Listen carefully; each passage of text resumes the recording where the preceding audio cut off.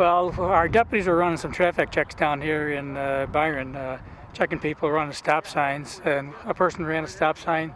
The deputy pulled in the Arrow Mart behind the individual to uh, issue him a ticket uh, when uh, an individual shot at the deputy's car, uh, taking out both the rear windows.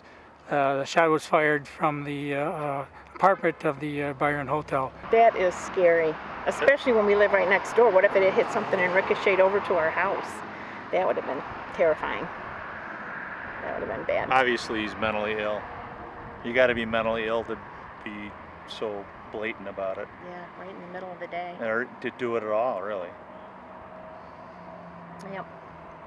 Well, unfortunately, you know, uh, there's a lot of people out there with uh, problems, uh, depression, the mental illness, and uh, you, you know, it, it reflects upon the type of situations we have nowadays. Every every call now is, is a serious call. You never know what's going to happen.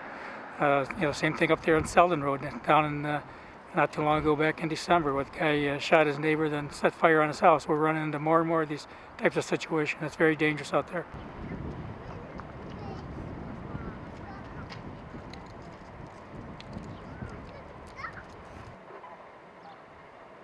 You done with this, John?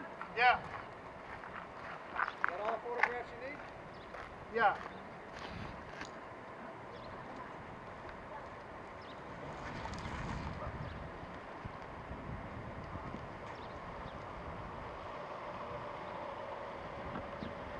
Um,